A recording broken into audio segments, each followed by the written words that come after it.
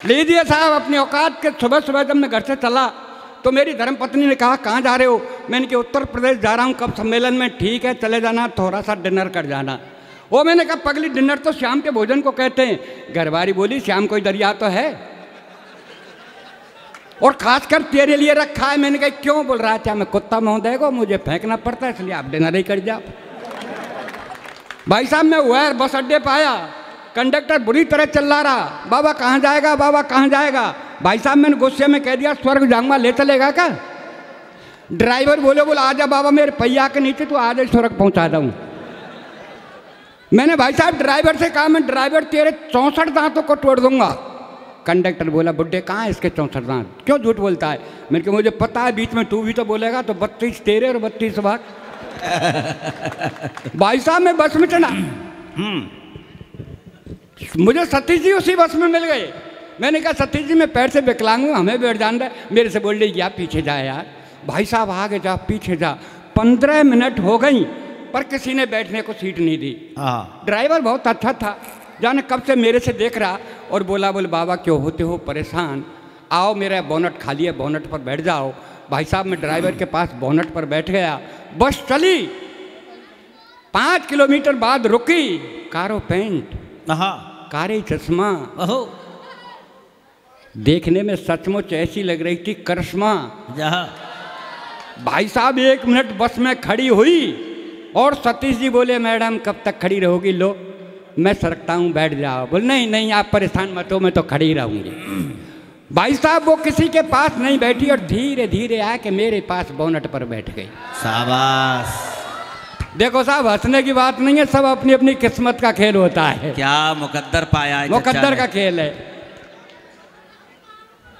भाई साहब हम्म। दस किलोमीटर के बाद बस मैं एक सवारी उतरी। सीट खाली हुई। मैं उस सीट पर जाकर के बैठ गया। बैठना चाहता मुझे बीड़ी पीने की आदत थी मैं बीड़ी पी रहा था उस पर एक औरत बैठी थी बच्चा उसकी गोदी में था और मेरे से बोली बोल बाबा। मैंने कहा हाँ बेटा। बोलते हूँ आप पढ़े हो? मैंने कहा हाँ पढ़ा कितना पढ़े हो? मैंने कहा आठ ही पास किया है। बोल देखो क्या लिख रहा है। तो साहब खिड़की के बगल में लिखा हुआ था बस में बीड़ी पीना मना है। मैंने कहा बेटी इसमें तो ये लिख रहा है बीड़ी पीना मना है। तो फिर आप बीड़ी पी रहे हो? भाई साहब मैंने उस बीड़ी को फेंक दिया। पाँच किलोमीटर चलने के बाद वो बच्चा रोने लगा और वो अपने बच्चे को आंचल पिला दूध पिलाने लगी। तो मैंने कहा बेटी तू पढ़िए क्या? हाँ बाबा, मैंने तो एम किया है। मैंने कहा, देख खिड़की के बगल में क्या लिख रहा है, चलती बस में शरीर का कोई भी अंग बाहर ना निकाले। हमारी यहाँ भुसावट तहसील पड़ती है साहब, वहाँ आए, वहाँ एक भिखारी आया और मेरे से बोला, बाबूजी बाबूजी, मैंने बोल, क्या बात है? बोल, दो रुपये दे दो। मैंने क्या करेगा? बोल, चाय पीऊँगा। अरे, मैं कम का चाय दो रुपये की आती है। चाय तो पाँच रुपए की आती है अगर माँगता तो मेरे से पाँच रुपए माँगता। भाई साहब भिखारी का जवाब देखिए। भिखारी हाथ जोड़ के मेरे से बोला बाबूजी जाकी जैसी हैसियत होए हम बाप ऐसे ही पैसा मांगे।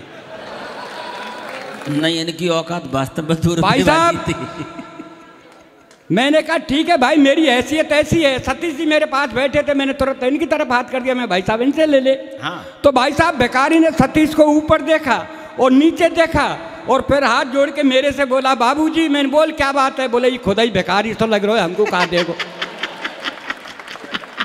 ओ भाई साहब भरतपुर बस अड्डे पे आया एक भिखारी और मिला। मेरे हाँ। से बोला बाबूजी बाबूजी मैंने बोल क्या बात है? बोल दस रुपये दे दो। अरे मैंने क्या करेगा? बोल चाय पीऊँगा। अरे मैं कम वक्त चाय दस रुपये की आती है।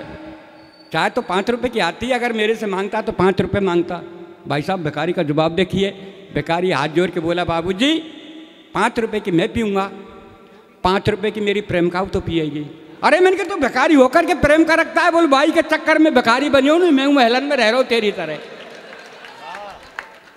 और भाई साहब, जब मैं आपके मथुरा में आया तो एक बच्चा दौड़ता हुआ आया और मेरे से बोला, अंकल अंकल। मैंने बोल, बेटा, क्या बात है?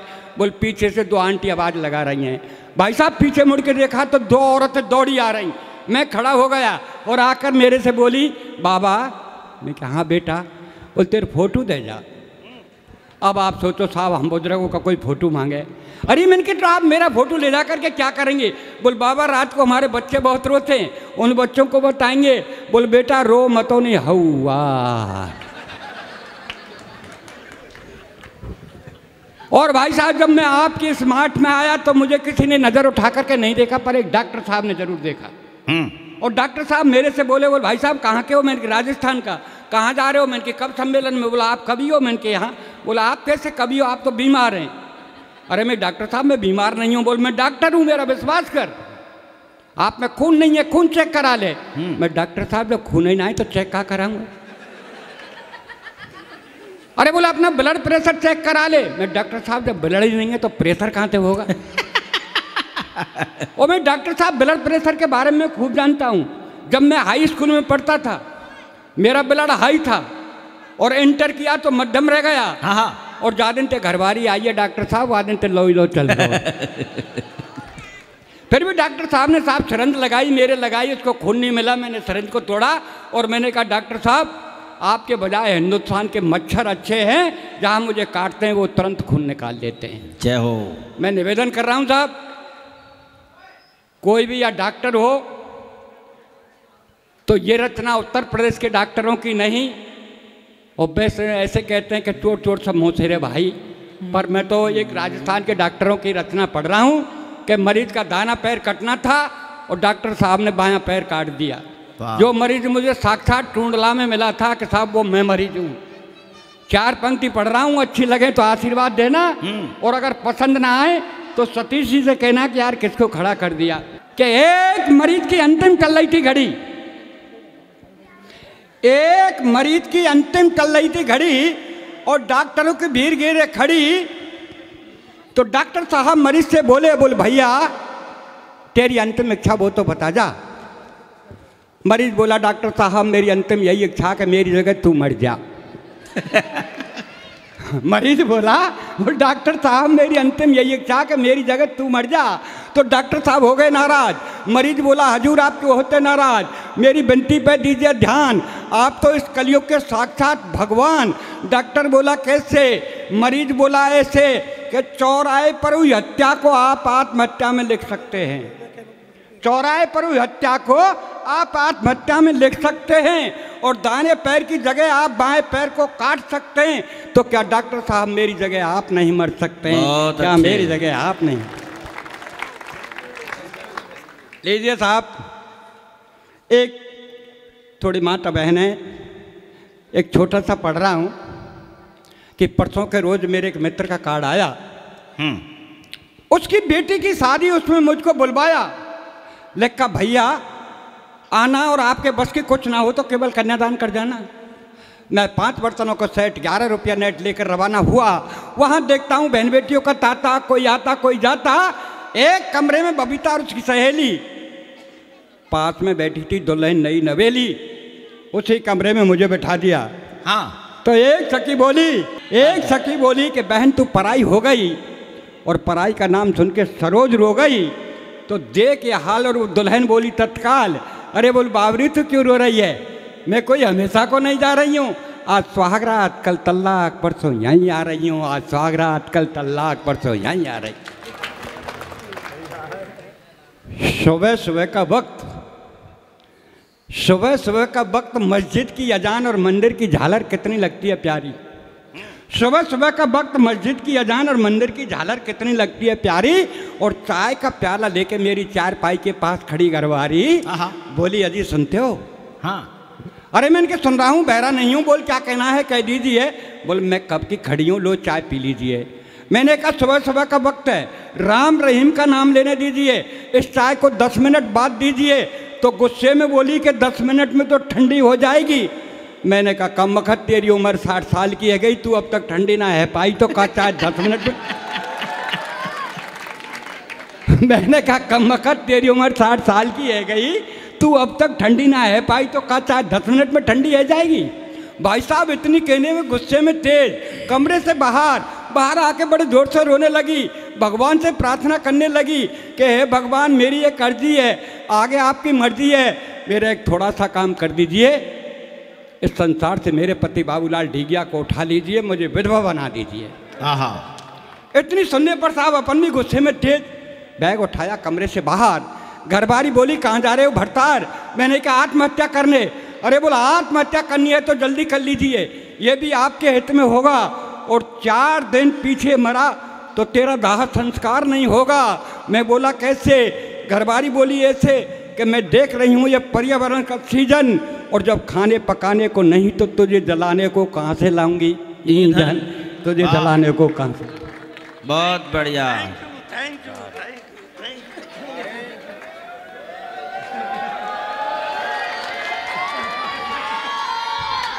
ओ मैंने कहा तू मेरे ईंधन की फ़िक्र मत कर। मैंने कहा तू मेरे ईंधन की फ़िक्र मत कर तेरा ध्यान किधर? मैं समझाता हूँ आओ उधर ठीक मेरे मरने के बाद शमशान घाट जाना और पाँच ईटर रख के घर चली आना। हम्म। बेटे को समझाना बेटे जाना बटन दबाना और पापा को जला के घर चले आना। बोल ठीक है। तेरे मरने के बाद शमशान घाट जाऊँगी पाँच हीटर रख के चली आऊँगी। बेटे को समझाऊँगी बेटा जाएगा बटन दबाएगा और तुझे जला के घर चला आएगा। पर एक बात बता तू जलने के बाद पता नहीं स्वर्ग या नरक जाएगा, पर इस महँगाई में जो पाँच पाँच हीटरों का बिल आएगा, उसे का तेरा बाप चुकाएगा, उसे का तेरा लीजिए साहब। एक छोटी सी रचना। मेरा छह वर्षीय बच्चा दौड़ता हुआ मेरे पास आया। मेरा छह वर्षीय बच्चा दौड़ता हुआ मेरे पास आया और बोला, बोले, पापा पापा, गजब हो रहा है। अपनी कॉलोनी में जलने वाला रावण अब की बार नहीं जल रहा है। मैंने कहा, नहीं बेटे रावण जलेगा। ऐलान हो चुका है पर वो ऐसे वैसे नहीं राम के बाँध से जलेगा। बोल पापा सचमान रामचंद्र जी खूब चला रहे हैं बाँध फिर भी नहीं जलने श्रीमान। तो बच्चे को लेकर साथ में रामलीला मैदान में आया देखकर राम चला रहे थे बाँध को रावण पर चेहरे पर मुस्कान उनके मुख से एक ही आवाज़ मैं नहीं जलूँगा आज।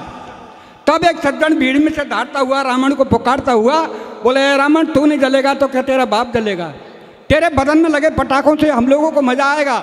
रावण घुर्राया दस शीशों को उसकी तरफ़ घुमाया और बोला बोल मूर्ख तू कहाँ से आ रहा है? मुझे हर साल जलता देखता है फिर भी तेरा पेट नहीं बढ़ता है और अगर तुझे जलना ही देखना है तो इस देश में देख ले सांप्रदायिक दंगों में हमेशा पूरा देश जलता है।